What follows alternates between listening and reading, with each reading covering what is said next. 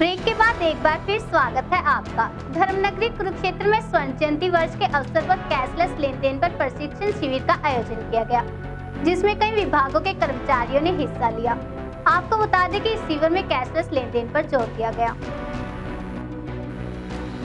कुरुक्षेत्र के पंचायत भवन में स्वर्ण जयंती वर्ष के उपलक्ष्य में और कुरुक्षेत्र की 40वीं वर्षगांठ के अवसर पर कैशलेस लेन देन के प्रशिक्षण शिविर का आयोजन किया गया।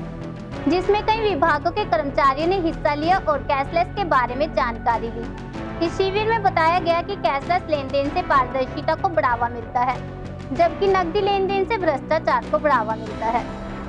आज ये जो मेगा कैशलेस मेले का सेकेंड डे है, इसमें आज हमारा मेनली एग्रीकल्चर डिपार्टमेंट और हमारा हरियाणा रोडवेज़ का डिपार्टमेंट और हमारा पंचायत डिपार्टमेंट इसमें आज दो दो घंटे के हमारे शेड्यूल्स हैं, जिसमें हम लोग कैशलेस के जो फाइव टाइप्स हैं, उनके बारे में जानकारी दे रहे हैं। और इसमें हमारा मेन जो मोटो है, इन लोगों के फ़ोन में प्रैक्टिकली सारी जो ऐप हैं इंस्टॉल करा के उनसे ट्रांजेक्शन्स करवाना।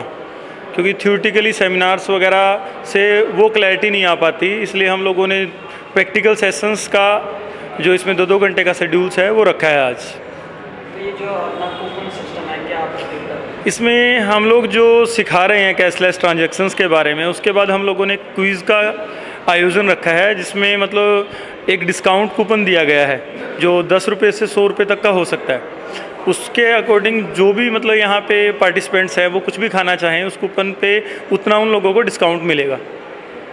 स्टॉल्स पे। कितने लोग आए आज लगभग हमारे एक बैच में डेढ़ सौ से दो सौ पार्टिसिपेंट हैं।